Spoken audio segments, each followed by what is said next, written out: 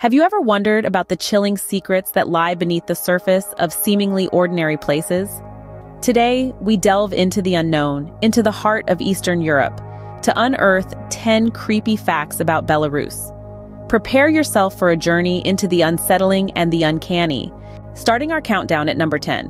Belarus, known for its vast forests, is home to the Bialowieza Forest. This primeval forest, untouched by human hands for centuries, is a hotspot for paranormal sightings.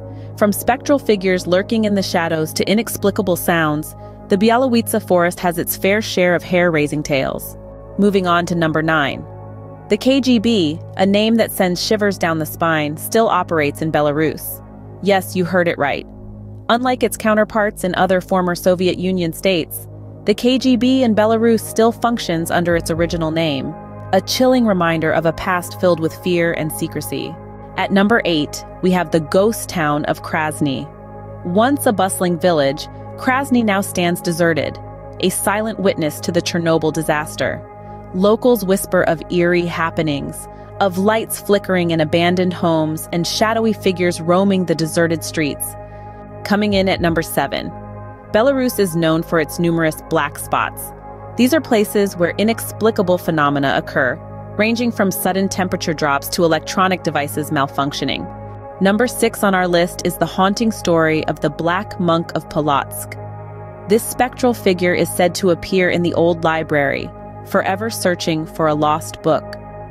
The chilling tale of the monk has become a local legend, adding a layer of eeriness to the city.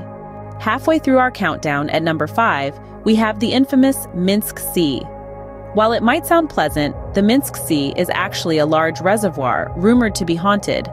Many claim to have seen ghostly apparitions, particularly of a woman in white, near its shores. At number 4, we delve into the dark history of Belarus during World War II.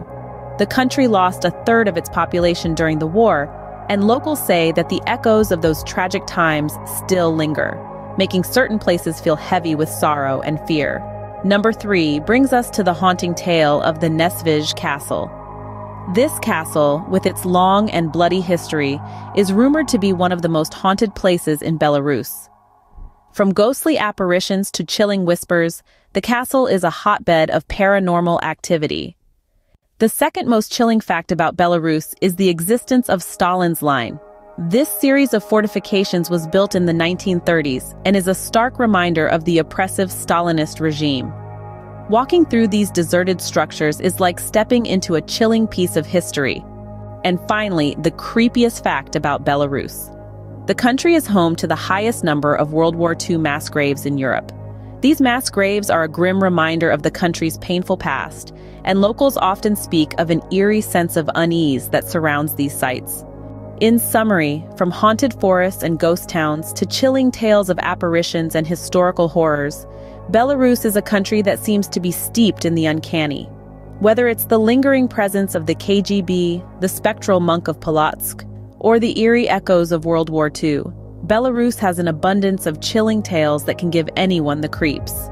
So, the next time you think of Belarus, remember, beneath its serene surface lie stories that can send a shudder down your spine.